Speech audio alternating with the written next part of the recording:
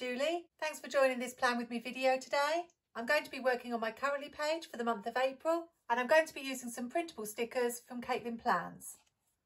I wanted to do a rainy day spread for April and if I'd had any Bambi stickers I probably would have done something along the lines of drip drip drop little April showers but instead I found some gorgeous rain cloud stickers in Katelyn's shop on Etsy and so I'm going to use those. It's not the first time I've used Katelyn stickers. You may have seen the other lovely spreads I've done using her printables. I don't have a cutting machine and I'm not much of a computer expert. So I just use the Canon photo app and print two to a page. And then I put the paper in again and print them out again, which is why they're upside down. What I did notice this time is that I changed the paper size to A4, which is the traditional size for UK. And I've just lost the edge of this quote here. So I changed it to letter size, which is the US paper size printed it out again and it's come out a little bit smaller with everything in the box. So just a tip if you are a UK planner to remember not to set your printer to A4 but to keep it at letter size. Of course I could have printed out any size, that's the good thing about printables, but I tend to prefer to print the four to a page and have them on the smaller size, but I can print them out any size that I like. I don't have a lot of idea what I'm doing for this page, so I'm just going to get on with it. I'm using this grid washi. It's from Amazon, and I thought I would just put some at the top and the bottom of the page. And probably put the word April on top of it. I've got some alphabet stickers that I found that match the colours of Katelyn stickers.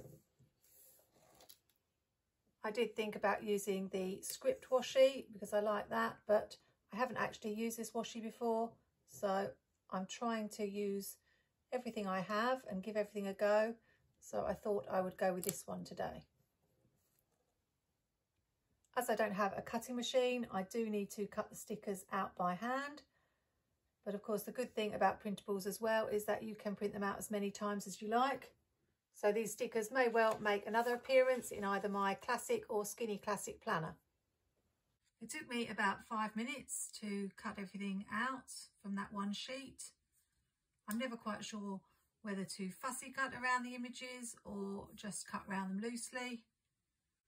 I think because I'm a card maker, I usually fussy cut them, which means cutting very closely around the edge.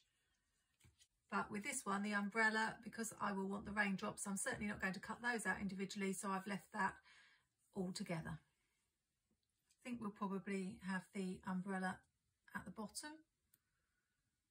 And I had to go with when life gives you rain clouds, play in the puddles because the other quote was rainy days are my fave and they're definitely not my fave. We've been having quite a lot of rainy days here in the UK lately. I keep waiting for spring to arrive. I haven't yet unpacked my spring summer clothes. So I'm still wearing jumpers, cardigans. I'm just adding a few boxes now.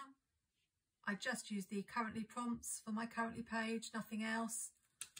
It's a memory page for me, just to look back on, see what happened that month. And I usually make a matching task page in case you were looking out for the video of my March task page. That one never materialized. I just didn't get a chance to film it as there was quite a lot going on with the spring release and other videos that I had to do so I left that one I'm not sure whether it was a good idea to stick all the boxes first to, and add the decoration last, but we will work around it. And I do find that these stickers that I made myself can be lifted from the page if I need to. So now I'm just going to play around with where I might lay the clouds. So I'll probably speed this bit up because there'll be lots of moving around.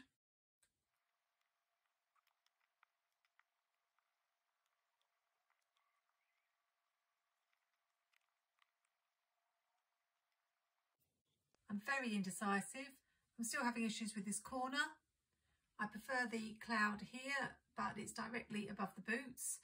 And I tried putting the boots in various places, but it seemed like they belonged at the bottom. It doesn't seem to make sense to have them anywhere else. So I have tried moving the cloud there and I think that's probably where I'm going to end up putting it. I will, of course, add some more raindrops. I'll need to cut those out of the other sheets. I'm a little bit concerned about this box that hasn't got anything decorating it, but we'll see if we can do anything about that later. So now I need to stick the stickers on. I'm already feeling quite inspired about making my matching task page, but I can't quite decide which direction to go in. I usually make little boxes for me to write my task for the month and they're usually shaped like something. So I was thinking I could do rain clouds and write my to-dos in there. But I also thought I could do raindrops or even some upside down umbrellas. So I don't know which direction I'm going to go in. I just managed to rip this sticker as I was taking the backing off. I'm really not that good at taking the backing off. I should try and get the paper that has the slits in. I think that would be easier. So I think I will do that next time when I run out of the lot that I've got currently. That's what I'll do. I have thought about getting a cutting machine. They're very popular. And I did used to have something called a craft robo which and I may be wrong about this I do think might have been the precursor to the silhouette. But all I ever used that for was cutting out alphabet letters which I mainly used for school for when I was doing displays for the children. And I never got any further than that. It did come with some pre-arranged shapes. I'm not sure if I'm sticking these in the right place. I've forgotten where they were, but I think that's about right. Let's add in a few more raindrops. I'm thinking I should do another spread with these where the raindrops bring the flowers. and combine these stickers with some florals. So I'm thinking about just bringing in another cloud. I've cut that one out from the other sheet and just turned it upside down. It may be a bit too much, but I don't want to bring in stickers from another sticker book. So I think that's the way to go. It does make life a lot easier when you just stick to one sticker book or one sticker sheet. And with stickers as pretty as this, that's all you need. Just need to do the title now. I've got all my Happy Planner alphabet sheets in this Make Your Own Sticker Book pack from Happy Planner. And I found inside that we have got a blue alphabet. Let's see if I can find it here. Matches really well, perfectly in fact, and it's from the Pastel Tropics sticker book. In case you're wondering how I knew it was from Pastel Tropics, I do write the title of the book on the back. So I'm just using this checklist stencil as a ruler to decide where I want to put the title. I think probably the middle.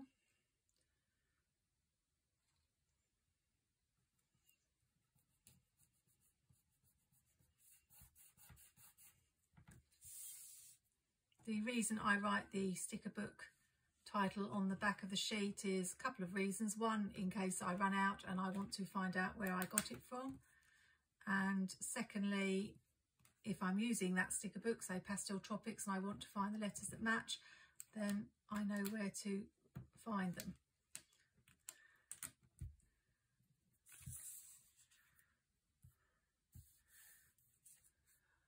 Don't think I could have made a better alphabet than that. Now I just need to find the words. I made pages of my own currently prompts so that I've got plenty to choose from and in lots of different fonts. So I'll find one that I like. Let's have enjoying in this long box here. Put it at the top.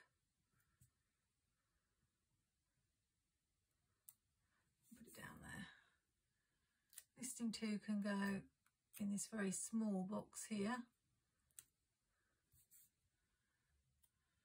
We'll have planning here. And I always like to keep a record of current events. So I have an in the news section. Although I would think it was my last video I was saying I ought to have a good news section and perhaps only write good things that have happened because there always seems to be far too much bad news around. And I think we're done. That's a really simple page, but a beautiful page. Really happy with it. Just need to punch that hole there. I use the Craftelier seven hole punch. You've probably seen me do this before, but I take the back off so that I can punch the holes. So I actually only need one hole so I just in, line up one and then you can see I've got the missing hole. I should be back soon with my task page unless other things get in the way. So if you're interested, remember that if you're subscribed and click the notification bell, you should know as soon as any videos of mine go live. I just need to straighten up that planning. I've noticed it's crooked and I am a little bit of a perfectionist in my planning and in everything. So I can't let it go. I think that's a bit better.